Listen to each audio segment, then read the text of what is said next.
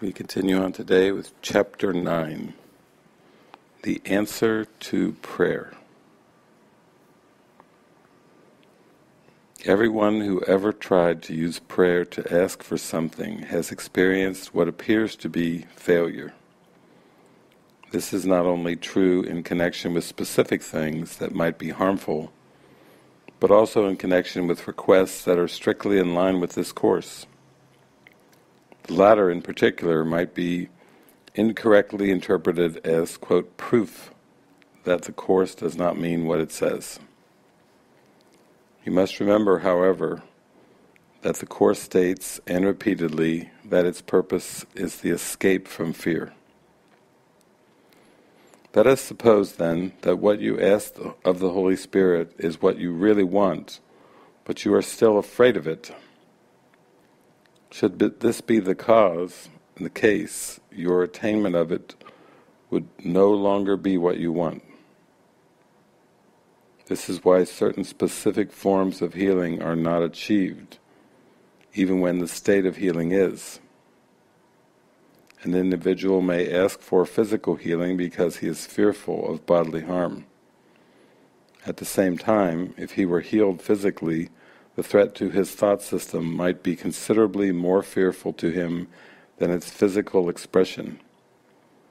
In this case, he is not really asking for release from fear, but for the removal of a symptom that he himself selected. This request is therefore not for healing at all. The Bible emphasizes that all prayer is answered, and this is indeed true. The very fact that the Holy Spirit has been asked for anything will ensure a response. Yet it is equally certain that no response given by Him will ever be one that would increase fear. It is possible that His answer will not be heard. It is impossible, however, that it will be lost. There are many answers you have already received but have not yet heard. I assure you that they are waiting for you. If you would know your prayers are answered, never doubt a Son of God. Do not question Him and do not confound Him, for your faith in Him is your faith in yourself. If you would know God and His answer, believe in me whose faith in you cannot be shaken. Can you ask of the Holy Spirit truly and doubt your brother? Believe his words are true because of the truth that is in him. You will unite with the truth in him, and his words will be true. As you hear him, you will hear me. Listening to truth is the only way you can hear it now, and finally know it. The message your brother gives you is up to you. What does he say to you? What would you have him say? Your decision about him determines the message you receive. Remember that the Holy Spirit is in him, and his voice speaks to you through him. What can so holy a brother tell you except truth? But are you listening to it? Your brother may not know who he is, but there is a light in his mind that does know. This light can shine into yours giving truth to his words and making you able to hear them. His words are the Holy Spirit's answer to you. Is your faith in him strong enough to let you hear? You can no more pray for yourself alone than you can find joy for yourself alone. Prayer is the restatement of inclusion, directed by the Holy Spirit under the laws of God. Salvation is of your brother. The Holy Spirit extends from your mind to His and answers you.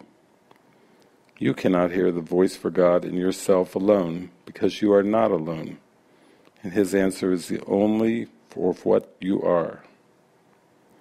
You will not know the trust I have in you unless you extend it. You will not trust the guidance of the Holy Spirit or believe that it is for you unless you hear it in others. It must be for your brother because it is for you.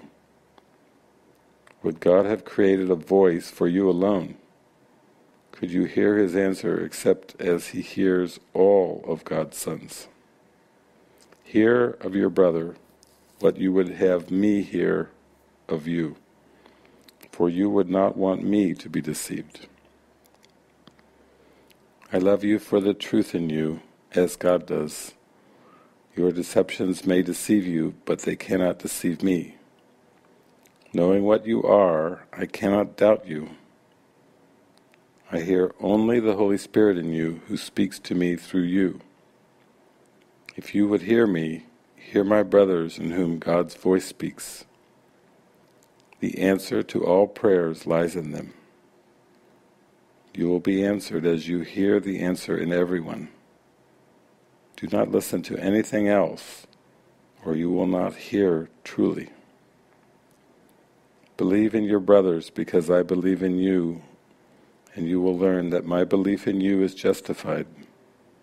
Believe in me by believing in them, for the sake of what God gave them. They will answer you if you learn to ask only truth of them. Do not ask for blessings without blessing them for only in this way can you learn how blessed you are. By following this way, you are seeking the truth in you. This is not going beyond yourself, but toward yourself. Hear only God's answer in His sons, and you are answered. To disbelieve is to side against or to attack.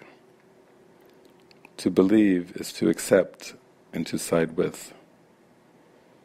To believe is not to be credulous, but to accept and appreciate. What you do not believe, you do not appreciate. And you cannot be grateful for what you do not value. There is a price you will pay for judgment, because judgment is setting of a price. And as you set it, you will pay it. If paying is equated with getting, you will set the price low but demand a high return. You will have forgotten, however, that your return is in proportion to your judgment of worth. If paying is associated with giving, it cannot be perceived as loss, and the reciprocal relationship of giving and receiving will be recognized. The price will then be set high because of the value of the return. The price for getting is to lose sight of value, making it inevitable that you will not value what you receive. Valuing it little, you will not appreciate it and you will not want it. Never forget then that you set the value on what you receive and price it by what you give. To believe that it is possible to get much for little is to believe that you can bargain with God. God's laws are always fair and perfectly consistent. By giving, you receive. But to receive is to accept, not to get. It is impossible to not to have, but it is possible not to know you have. The recognition of having is the willingness for giving and only by this willingness can you recognize what you have. What you give is therefore the value you put on what you have, being the exact measure of the value you put upon it. And this in turn is the measure of how much you want it. You can ask of the Holy Spirit then only by giving to Him and you can give to Him only where you recognize Him. If you recognize Him in everyone, consider how much you will be asking of Him and how much you will receive. He will deny you nothing because you have denied Him nothing, and so you can share everything. This is the way, and the only way, to have His answer because his answer is all you can ask for and want. Say then to everyone, Because I will to know myself, I see you as God's Son and my brother. And from the workbook, lesson number 66. My happiness and my function are one. You have surely noticed an emphasis throughout our recent lessons on the connection between fulfilling your function and achieving happiness. This is because you do not really see the connection. Yet there is more than just a connection between them. They are the same. Their forms are different, but their content is completely one. The ego does constant battle with the Holy Spirit on the fundamental question of what your function is. So does it do constant battle with the Holy Spirit about what your happiness is. It is not a two-way battle. The ego attacks and the Holy Spirit does not respond. He knows what your function is. He knows that it is your happiness. Today we will try to go past this wholly meaningless battle and arrive at the truth about your function. We will not engage in senseless arguments about what it is. We will not become hopelessly involved in defining happiness and determining the means for achieving it. We will not indulge the ego by listening to its attacks on truth. We will merely be glad that we can find out what truth is. Our longer practice period today has as its purpose your acceptance of the fact that not only is there a very real connection between the function God gave you and your happiness, but that they are actually identical. God gives you only happiness.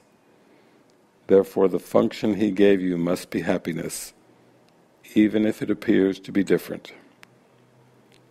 Today's exercises are an attempt to go beyond these differences in appearance and recognize a common content where it exists in truth. Begin the 10 to 15 minute practice period by reviewing these thoughts. God gives me only happiness. He has given my function to me. Therefore my function must be happiness. Try to see the logic in this sequence, even if you do not yet accept the conclusion. It is only if the first two thoughts are wrong that the conclusion could be false. Let us then think about the premises for a while as we are practicing. The first premise is that God gives you only happiness. This could be false, of course, but in order to be false it is necessary to find, define God as something He is not. Love cannot give evil, and what is not happiness is evil. God cannot give what He does not have, and He cannot have what He is not. Unless God gives you only happiness, He must be evil. And it is this definition of Him you are believing if you do not accept the first premise. The second premise is that God has given you your function. We have seen that there are only two parts of your mind. One is ruled by the ego and is made up of illusions. The other is home of the Holy Spirit, where truth abides. There are no other guides but these to choose between, and no other outcomes possible as a result of your choice, but the fear that the ego always engenders, and the love that the Holy Spirit always offers to replace it. Thus, it must be that your function is established by God through His voice, or is made by the ego which you have made to replace him. Which is true? Unless God gave your function to you, it must be the gift of the ego. Does the ego really have gifts to give, being itself an illusion and offering only the illusion of gifts? Think about this during the longer practice period today. Think also about the many forms of the illusion of your function has taken in your mind, and the many ways in which you tried to find salvation under the ego's guidance. Did you find it? Were you happy? Did they bring you peace? We need great honesty today. Remember the outcomes fairly and consider also whether it was ever reasonable to expect happiness from anything the ego ever proposed. Yet the ego is the only alternative to the Holy Spirit's voice. You will listen to madness or hear the truth. Try to make this choice as you think about the premises on which our conclusions rest. We can share in this conclusion, but in no other, for God Himself shares it with us. Today's idea is another giant stride in the perception of the same as the same, and the different as the different. On one side stand all illusions. All truth stands on the other. Let us try today to realize that only the truth is true. In the shorter practice periods, which would be most helpful today, if undertaken twice an hour, this form of the application is suggested. My happiness and function are one, because God has given me both. It will not take more than a minute, and probably less, to repeat these words slowly and think about them a little while as you say them.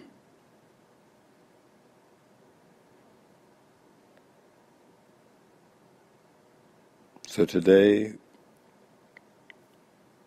through our text reading, through our workbook, we open to hear the Holy Spirit,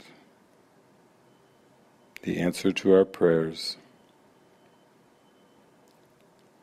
to receive guidance and to receive our function. And we open to the awareness that our happiness and our function are one. Our function of forgiveness is how our happiness is experienced. And that God gave us our happiness in our creation. And nothing that the ego has made or said or done has changed our eternal happiness. Today, Jesus asks us to think about the many forms of the illusion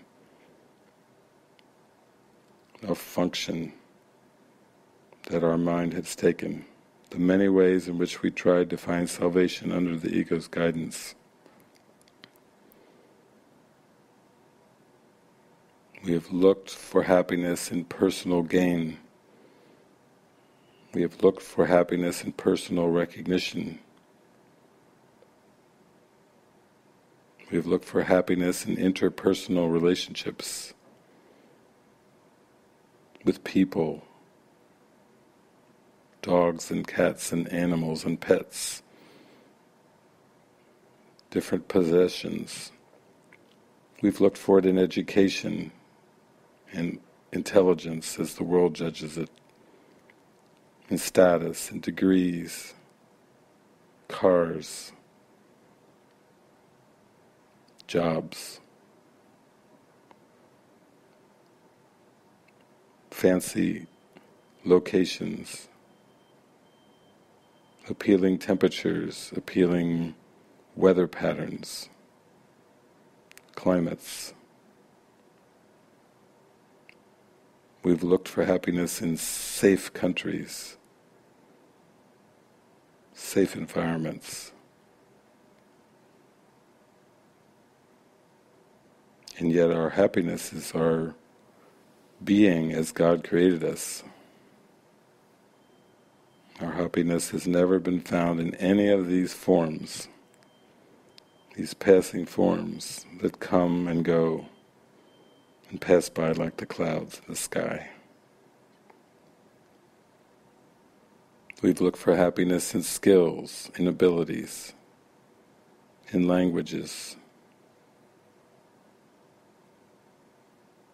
We've looked for happiness in pursuits, in hobbies and interests in accumulating money, in investments of the world, stock markets, bonds, insurance plans. All these things we have mistaken our function of forgiveness for. All these seeming human functions, human pursuits, have led us nowhere. Even when we find relationships that we think we like, we can find happiness in,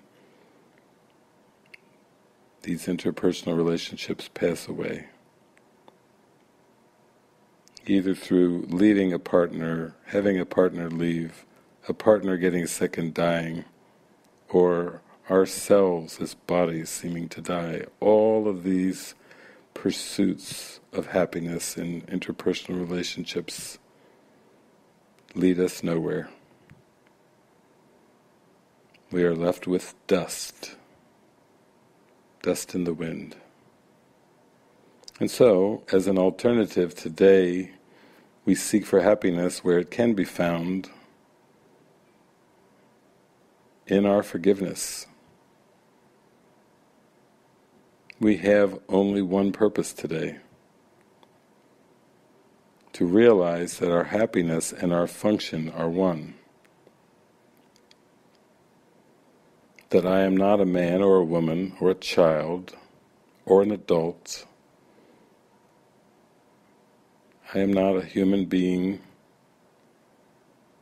I am not American or Mexican or Russian or Greek.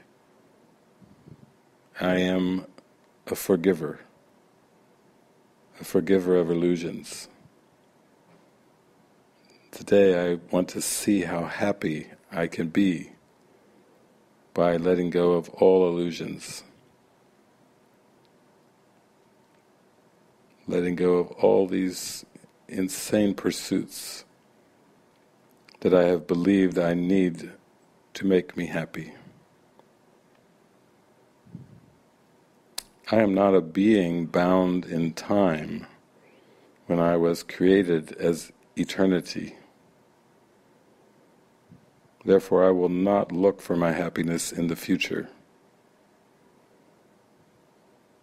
I will not play the ego's game of I will be happy when. The outcome, the form, is perfect. All outcomes of form will never be perfect because the ego made them. And the ego is a death wish. But I can forgive.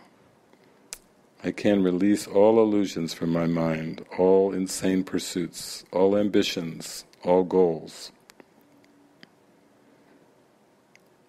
Today I realize I have no career goal because happiness, present happiness, is my function. I will not be tempted by the future. Today I realize I have no future relationship goals. I'm not hoping for a family. I'm not hoping for growing old and getting white hair with somebody else as well as myself. I am letting go of the on Golden Pond future of growing old together. My happiness is my function. No longer will I desire to be rich or famous or some other illusion of a body. Present happiness is my function. Today I rest in present happiness. Peaceful, serene, tranquil, and content. As I say, my happiness and my function are one. Amen.